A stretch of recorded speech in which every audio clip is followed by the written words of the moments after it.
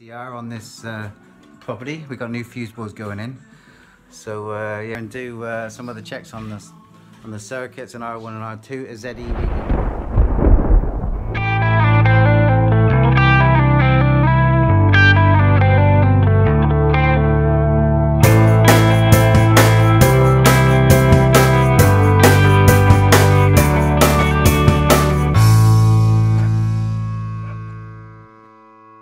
we're just on site. We're doing a pre EICR on this uh, property. We've got new fuse boards going in.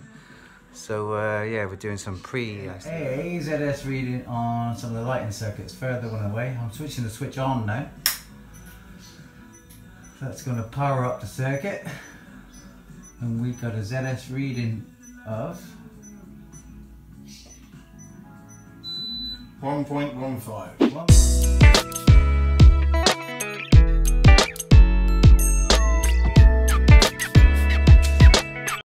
1.15. The important thing now is to take them off live, neutral, and off. No, Cool. it just fell off. Yeah, so that's reading on the furthest point. And do uh, some other checks on the on the circuits and R1 and R2 is ZE reading. And uh, yeah, I'll show you the board that we're going to change. The, and we're going to put in a Wylex two-pole isolator, which just makes things really convenient for the future. This is the board change we're going to do. So we're going to change this bad boy. We've got earthing system is what, Ross? TNS. TNS. Oh, see you later, guys. Really old plastic consumer unit here, which has only got one side of the RCD protected, which on the sockets, but nothing on the lighting or bell or heating. So we're going to take that up to a 17th edition. This is of this is of June 2018, so it's still 17th edition stuff. But what we're going to do is put in here, which is a really nice idea, is the Wylex two-pole isolator, which we'll show you that bad boy now. It is, yeah. So we're going to put in this Wylex two-pole isolator, which is just really convenient for future-proofing the uh, system. It's just nice to actually, yeah, there you go. See on the inside. And that's it. So that's actually going to sit now, uh, replacing these Henley blocks. That'd be a nice upgrade. Pretty much we're at the board, so uh, we're going to deload this board now and actually get some readings for uh, expected fault current. We're going to do a ZE. So uh, yeah, let's go for it. So we're going to deload the board. I Always remember to tell the, the customer as well. So Yeah. Power going off. Yeah. And with your RCD ones, always make sure you deload the RCD before you turn the RCD off.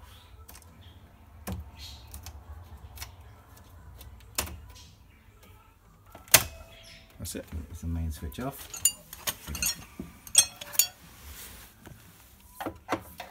So we've got our basically got our multifunction tester here. This is using this time a Kewtech KT64DL. Not a bad little tester.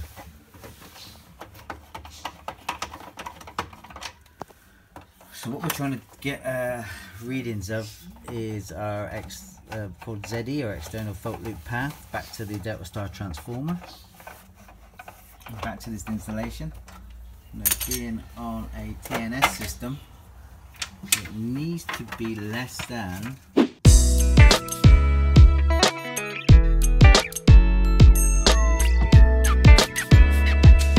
looking for that sort of reading on our uh, ZE. We're going to carry out some safe isolation on this uh, scenario, make sure our side of the board is dead at least. So onto the proving unit with our GS38 approved voltage detector, make sure that works. Onto the our side of the uh, tails, we're going to go neutral and line, neutral and earth, earth and line, and then back to the proving unit. Cool. Fantastic. We're happy that our side of the board is dead. Remembering, of course, always the incoming side of the board at this point is still live, so uh, just taking care of that. Fault current that will uh, flow in the event of a fault. We want to know. This is just a, this is actually a three lead tester, so we're going to put it on. It's not turning on. Again, it's my bad. There we go.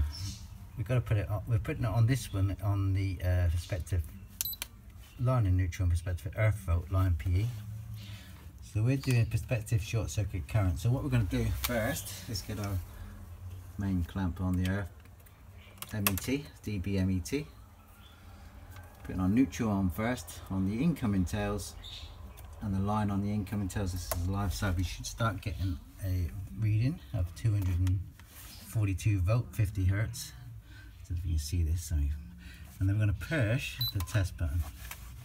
It's measuring. It takes a little while but actually it's pretty quick. We've got 2.23 ka prospective short circuit current. We can now take it over to prospective earth uh, fault current. and we're going to get another test. Externally and back to this we've got 1694 amp. It's the highest reading that record that we record on the schedule of test results which on our case would be 2.23 2.23 ka so I've just had a trip just come down to uh, Screwfix. Yeah.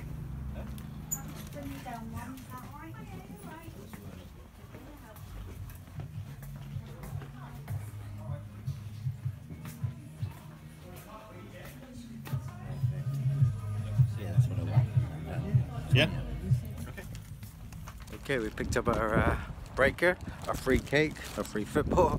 Now we just need some substance for lunch.